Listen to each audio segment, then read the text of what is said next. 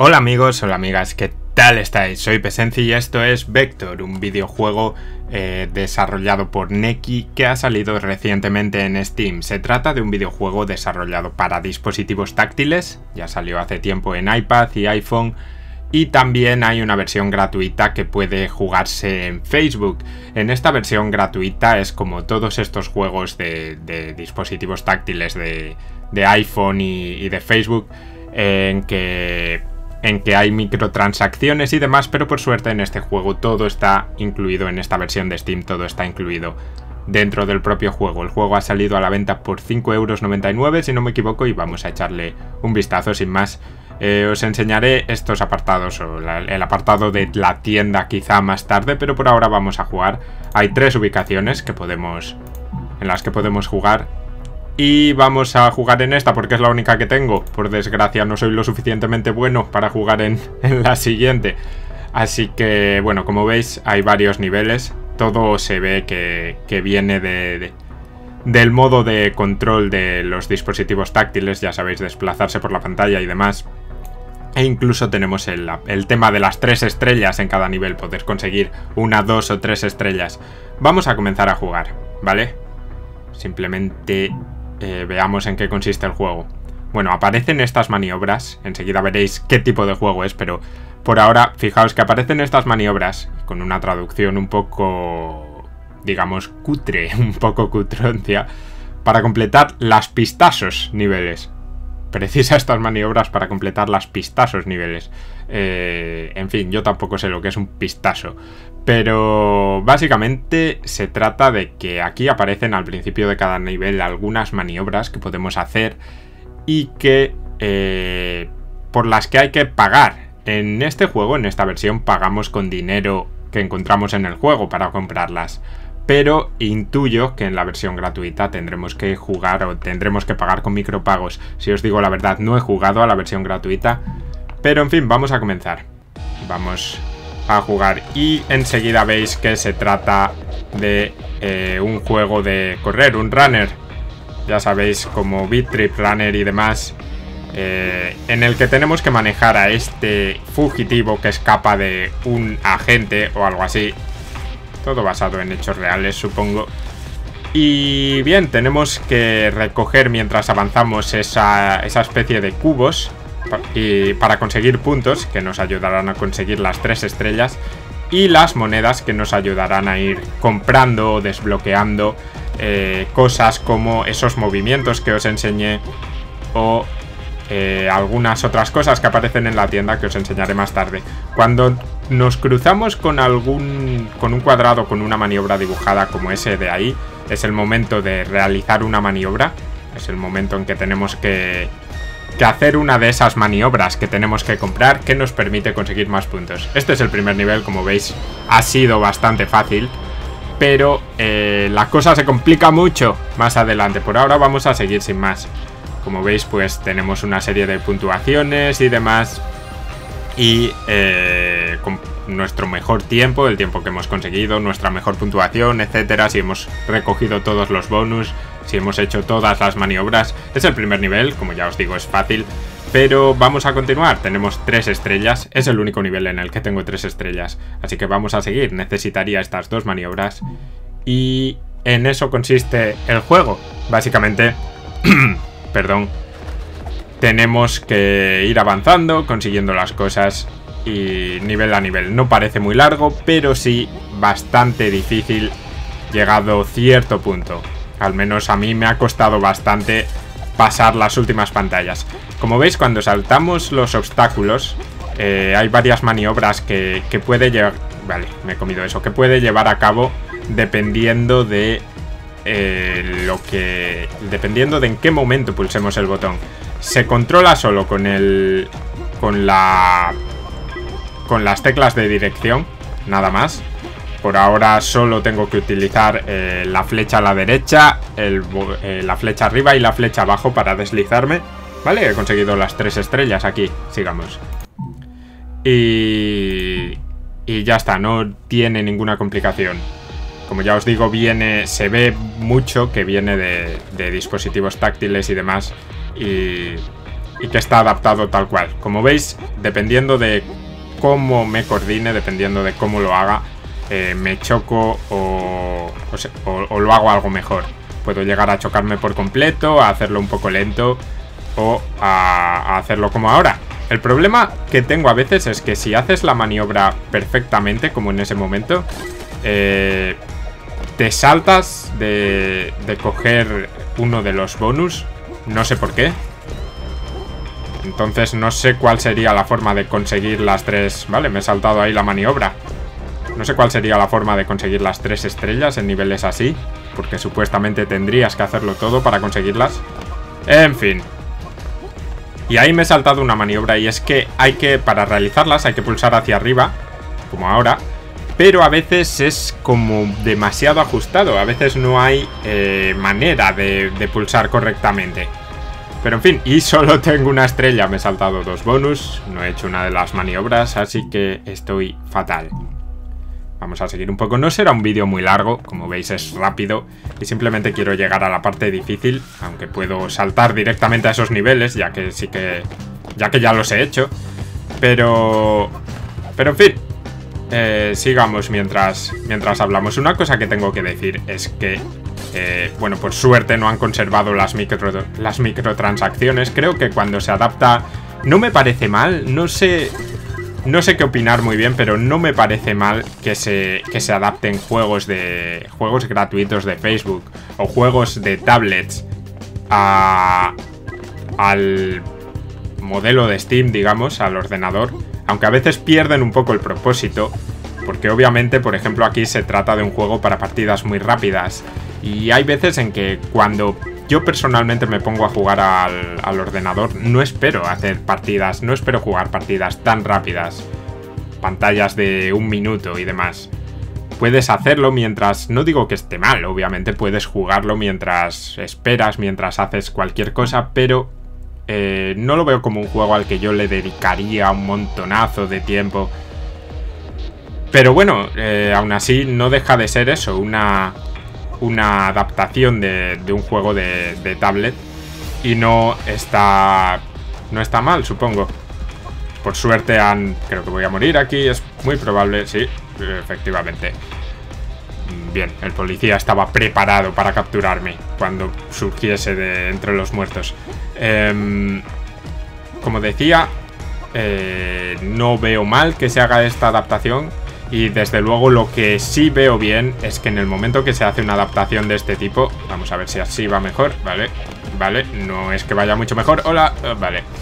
¿Cómo me pasé este nivel en primer lugar?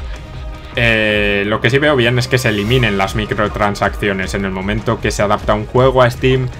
Veo absurdo que conserve las microtransacciones.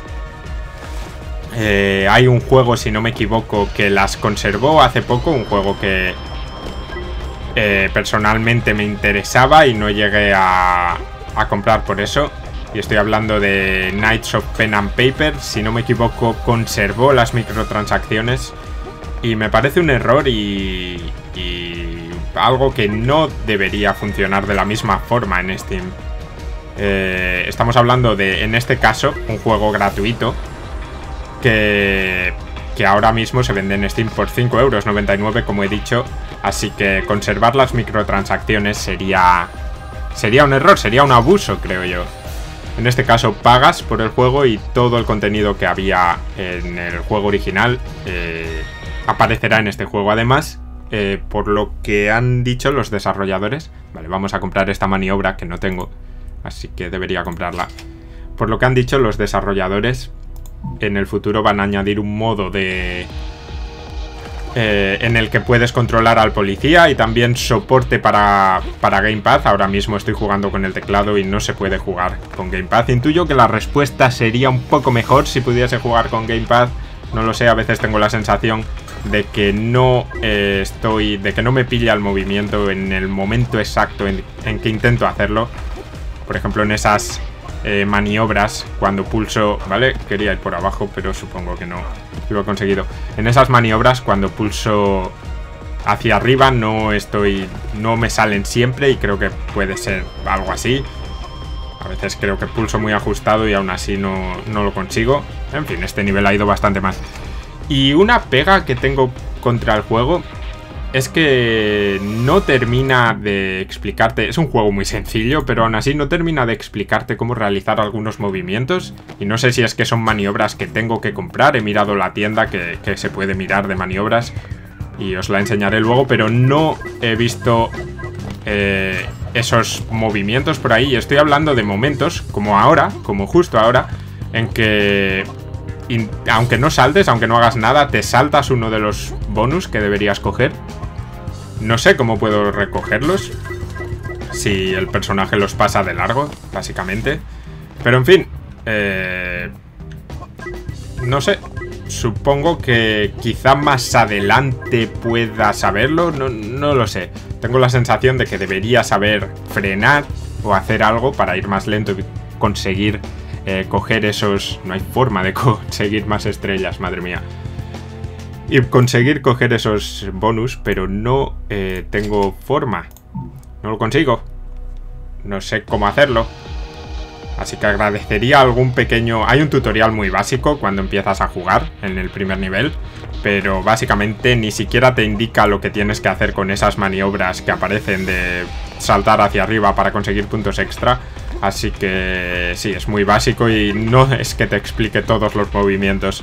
Solo te, enseña a saltar, a deslizarte y a correr más rápido cuando hay una zona de esas de... Como las que habéis visto, en las que salen algunas flechas.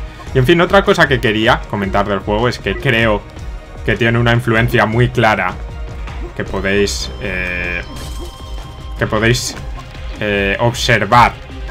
Y estoy hablando de la influencia, en cuanto salgamos a la calle, fijaos, eh, la influencia de Mirror's Edge en lo que respecta al diseño de la ciudad.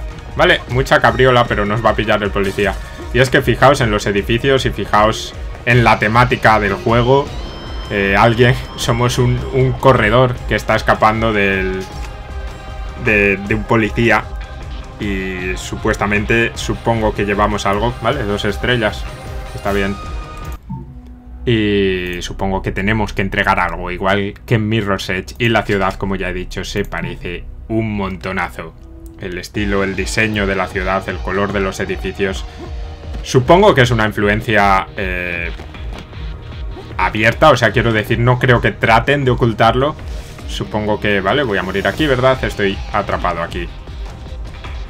No creo que, que traten de, de ocultar nada. Como veis, ya estamos en, en niveles un poco más difíciles. Vale, vamos a intentar ir por aquí arriba, irá mejor. Más que nada porque creo que es la única forma. Vale, debí haber ido por abajo ahí. Como veis, el policía corre más que nosotros. Llega un punto en que empieza a correr más que nosotros y la única forma de eh, esquivarle, de darle esquinazo es eh, hacerlo todo perfectamente. Vale, vale, me estoy dejando muchas cosas, pero como ya os digo, no tengo ni idea de cómo recogerlas. De cómo podría frenar para, para recoger esas cosas. Vale, estoy haciéndolo bastante mal. Y... ¡Oh, Dios! Vamos, corre un poco. Venga. Creo que me va a pillar. Creo que si lo sigo haciendo mal, me pillará. Y... Sí. Sí, puede ser. ¿Me va a adelantar? No, vale, si se hubiera deslizado por abajo eh, Me habría adelantado Hace esto, bien, casi me pilla ahí Y creo que si me pilla lo dejaré No, vamos a llegar, vale El policía se ha frenado, podría haber entrado si hubiese querido y creo que eh, creo que ahora venía un nivel especialmente puñetero. Vamos a comprar esto y será el último... Oh, no tengo, no tengo dinero para hacerlo. Iba de sobrado. Y será el último nivel que haga, ni siquiera os aseguro que lo complete y os enseñaré la tienda y terminaremos con, con el vídeo. Básicamente, eh, mi opinión pues es que, bueno, lo veo eh, un juego entretenido, pero creo que hay otras opciones mejores como runners. Y bueno, supongo que estoy hablando de Beat Trip Runner y demás. Creo que, bueno, si os gusta, si queréis probarlo, os recomendaría probar la versión gratuita. Eh, como ya os he dicho, no sé qué incluye exactamente, no la he probado. Pero sé que hay una versión en Facebook y hay una versión en, en para iPad y para iPhone. No estoy seguro de que haya una versión para Android. creo que no, pero no estoy seguro. Visitad la página oficial y eh, miradlo a ver. Y como veis, el policía corre mucho más que nosotros. Así que, en fin. Eh, a partir de aquí la cosa se complica bastante y es curioso porque eh, luego, más adelante, aparecen elementos de la historia, digamos. Nos encontramos con otros corredores y demás y digamos que la historia avanza antes de pasar al siguiente nivel. Pero creo que lo voy a dejar aquí. Como veis, estoy haciéndolo de pena. Así que vamos a pausar y voy a volver un momento al menú para enseñaros eh, lo que había dicho que os enseñaría. Básicamente este, este primer mundo, digamos, tiene 11 niveles. En un principio pensé que esto que aparecía aquí con una X serían cosas, niveles secretos a desbloquear, pero ahora mismo creo que ya creo que no lo son. Y, en fin, vamos a volver. Eh, la pega que me he encontrado es que me he pasado estos primeros 11 niveles y para acceder al segundo, a la segunda ubicación no basta con pasárselos, sino que necesito 25 estrellas en el centro de la ciudad, en la anterior ubicación, o 5.000 monedas, que no tengo y que tampoco me apetecería pagar si tuviese. Pero en fin, supongo que si lo intentas demasiado y no consigues las 25 estrellas, al menos puedes pagar. Si eres un paquete como yo y no lo consigues, puedes pagar. La verdad es que se vuelve bastante complicado y no estoy seguro de si es por la respuesta o porque desconozco los controles, pero no hay forma de... no tenemos forma de, de ver esos controles por ahora. Creo que con la actualización incluirán eh, poder mapear los controles, pero en fin, vamos a la tienda. Y simplemente os iba a enseñar, aquí tenemos las maniobras que podemos comprar son las mismas que aparecen al principio de cada nivel, así que se pueden comprar ahí según las vayas necesitando. Y es aquí donde no sé si se podrá incluir, si, estará incluida alguna maniobra que nos ayude a recoger esas cosas que por ahora me estoy saltando, no lo sé. Quizás simplemente cuando hay un agujero o algo así haya que saltar antes de llegar, pero va tan rápido que intuyo que simplemente tienes que aprenderte el nivel de memoria para poder hacerlo. Aquí podríamos comprar cualquiera de esas maniobras, no voy a comprar nada ahora mismo. En dispositivos tenemos esto, compré uno antes, pero si os digo la verdad no lo he utilizado. Tiene toda la pinta de ser el típico power-up de los juegos de Facebook y demás que puedes utilizar y que a lo mejor te dan uno al día o algo así, o comprar con dinero real. Y simplemente sirve para... para... bueno, para soltar un campo eléctrico devastador para librarte del cazador cercano. Intuyo que solo lo puedes utilizar una vez, tengo uno y no lo he utilizado, no me apetece hacerlo. Y por otro lado tenemos en equipamiento estas tres cosas bastante simples que podemos comprar, un gorro, una bufanda, una bermuda. Y de nuevo no sé si esto serán cosas que se puedan ir desbloqueando, intuyo que no. Y en fin, eso es todo, esto esto es Vector, o Vector, eh, un juego de Neki que han dicho que sacarán ese contenido descargable gratuito en el que se podrá controlar al policía y eh, añadirá algunas opciones más con respecto a controles y demás. Mi opinión ya os la he dicho, es entretenido, no creo que le, que le dedicase demasiado tiempo, pero eh, creo que el control podría ser un poquito, solo un poquito mejor, no es que sea malo, ni mucho menos, pero intuyo como que no responde todo lo bien que querría o no siempre el personaje hace lo que estoy intentando que haga. Y en fin, espero que os haya gustado, ya sabéis si os ha gustado, por favor, dadle a me gusta porque me ayuda mucho para continuar. Y, y ya está, eso es todo. Eh, nos vemos la próxima vez, hasta entonces.